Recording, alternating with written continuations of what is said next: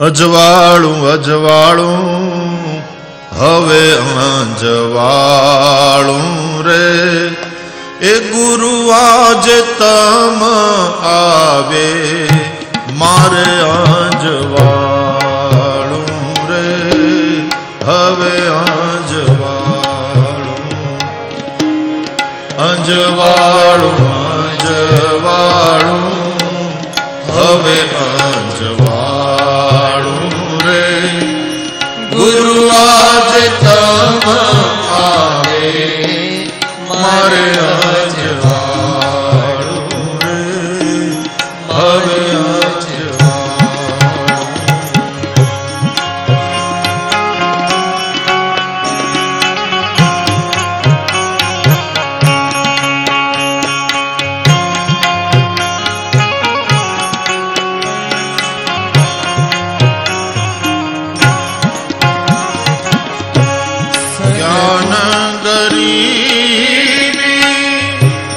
સંતની સેવા રે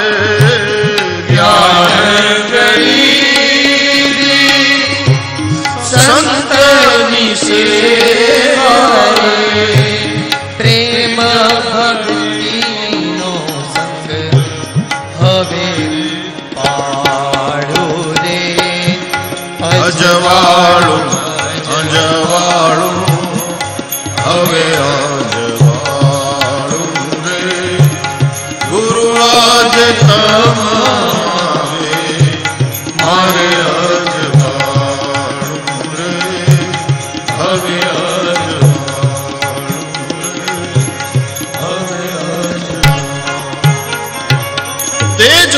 તત્વમાં ગુરુ તમને હું ભાળું એટલા માટે ભાગવતમાં શવનકાદી ઋષિઓ પોતાના વક્તાનો આદર કરતા એમ કહે છે, અજ્ઞાન ધ્વાંત વિધ્વંસ કોટી સૂર્ય સમપ્રભ. અજ્ઞાન રૂપી અંધકારનો નાશ કરવામાં હે કરોડો સૂર્ય સમાન સુતજી. સદગુરુ એ પ્રકાશ સ્વરૂપ છે. ગુરુ શબ્દનો અર્થ જ એ થાય છે, ગુ એટલે અંધકાર, રુ એટલે પ્રકાશ.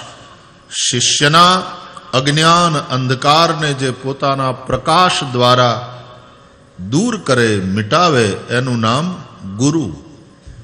ગુકારોસ્ત્વંધકારોસ્તિ રુકારસ્તન નિરોધક અંધકાર નિરોધિત્વાત ગુરુરિત્ય વિધીયતે આ ગુરુ શબ્દની વ્યાખ્યા છે.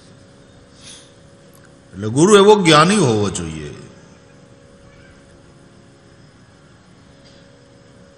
એટલે સંસ્કૃત ભણેલો હોય, શાસ્ત્ર ભણેલો હોય અને એ એ બધાને એનું જ્ઞાન આપે એક વાત છે, એ એક વાત. પણ કદાચ એવું કંઈ ભણેલો ના હોય તો એ ભજનાનંદી તો હોવો જ જોઈએ અને ભજન કરતા કરતા, તપસ્યા કરતા કરતા જેણે એ પરમ તત્વનો અનુભવ કર્યો.